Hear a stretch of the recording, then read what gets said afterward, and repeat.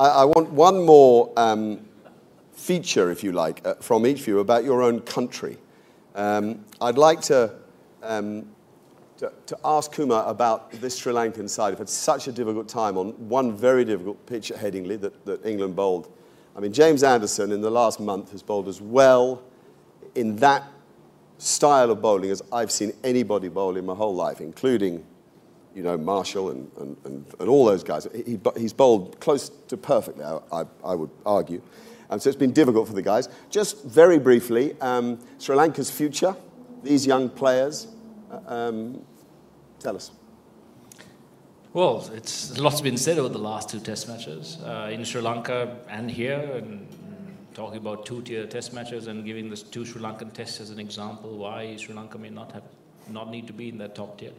Um, some reporters at home um, writing, "Well, what's this side doing here?" to me, I think the players on this tour are the best players that we have in Sri Lanka. And just because they've lost two test matches doesn't make them bad players. Um, this is also the first step, in my view, of a process that will take us a year and a year and a half to really build a side that believes in themselves and in each other and actually plays the brand of cricket that Sri Lanka is known for. It's not going to happen at Lord's or maybe not in the next six months. But what I admire about these boys is that having gone through all of that, faced all of that, they put up a great show in that last innings at Durham. Um, and also, I know for a fact, having played with some of these guys for a while and looking at the new players, that without a doubt, that they are the best suited to take Sri Lankan cricket forward. And no matter what anyone says, my, my belief in, in, in the players that we have out there representing Sri Lanka is extremely strong, and I will back them 100% to take Sri Lanka where they, where they have to go. So let's have, a, have this chat again in a year and a half. Very good. Um, mean, with, with, with the, I would argue, probably, I'd need to research a bit, but with the four, perhaps the four most devastating and important consecutive strikes of a cricket ball Carlos Brathwaite took away um, the World 2020 trophy, a tournament that um, you had graced, your team had graced, um, as indeed had they. Uh, is, it, are moments like that things you learn from, or is that a bit of a myth of sport? Do you, do you regroup easily? Do you look back with any regrets? Would you do anything different?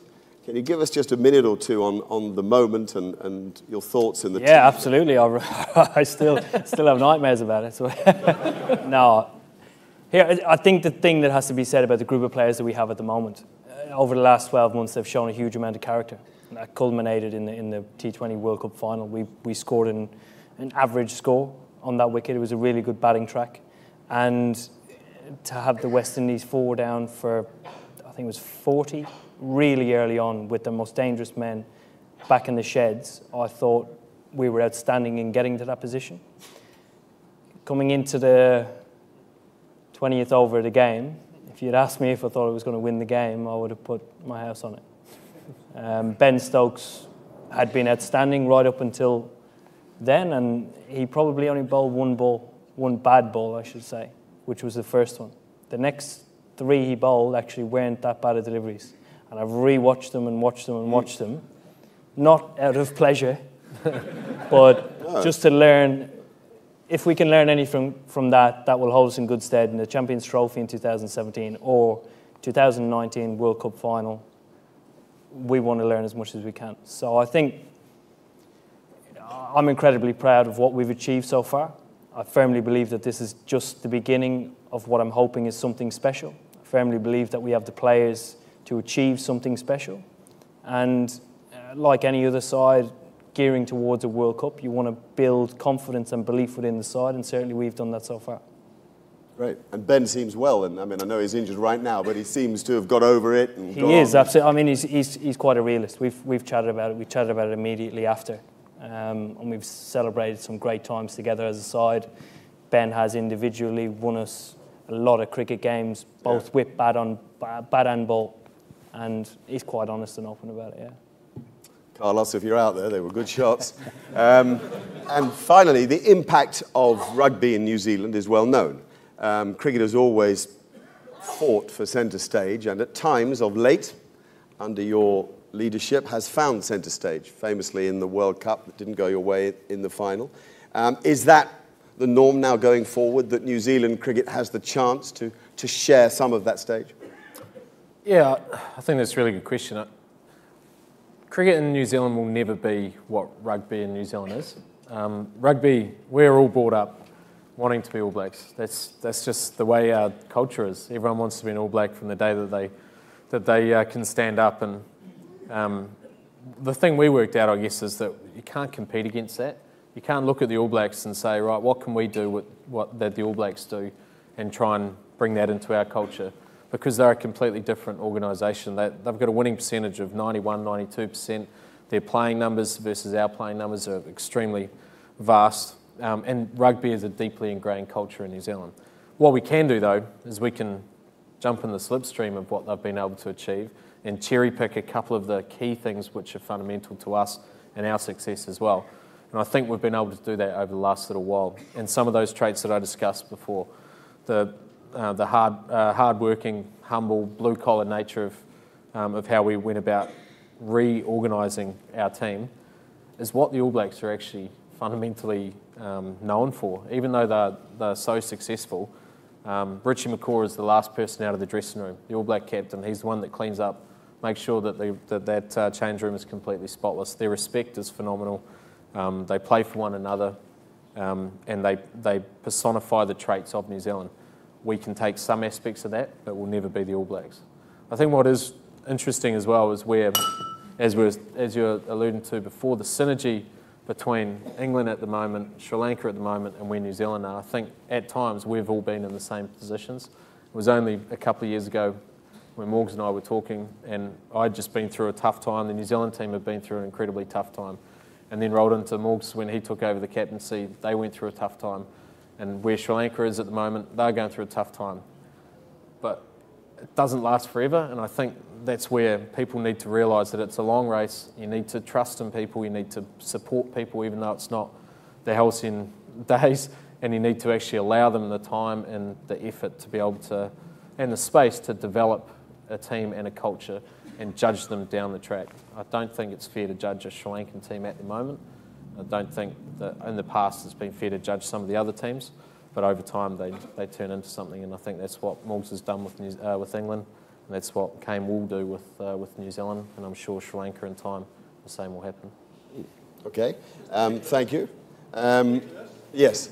On that subject, could I ask one quick question of, of, of Brendon? Uh, in the President's opening address... Yes, you can, sir, yeah.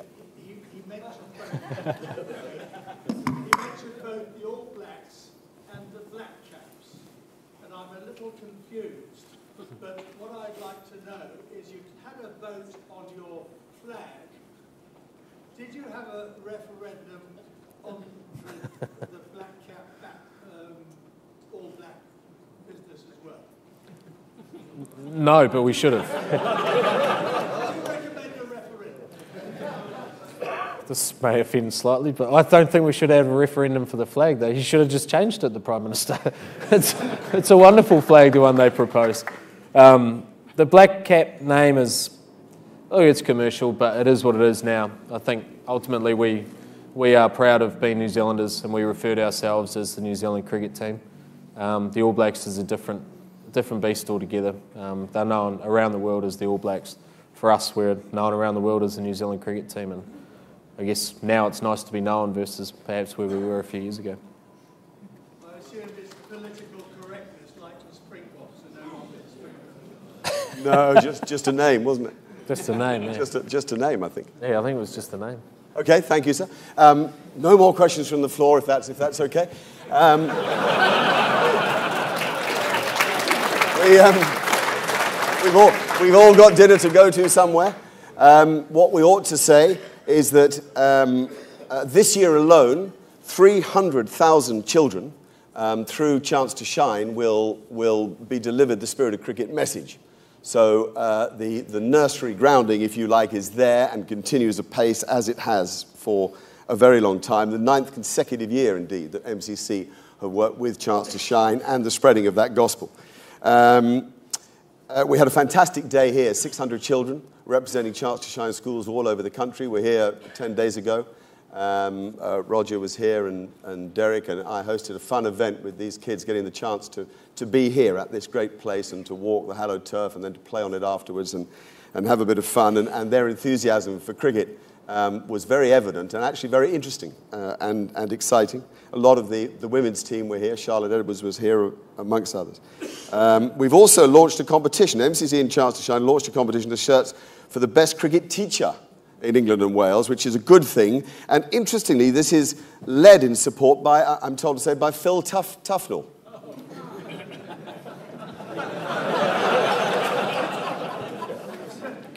um, we've been very honoured this evening. Um, but um, before I say goodbye, we have an even more special honour because um, Brendon has today been made a life, an honorary life member of MCC. Uh, and um,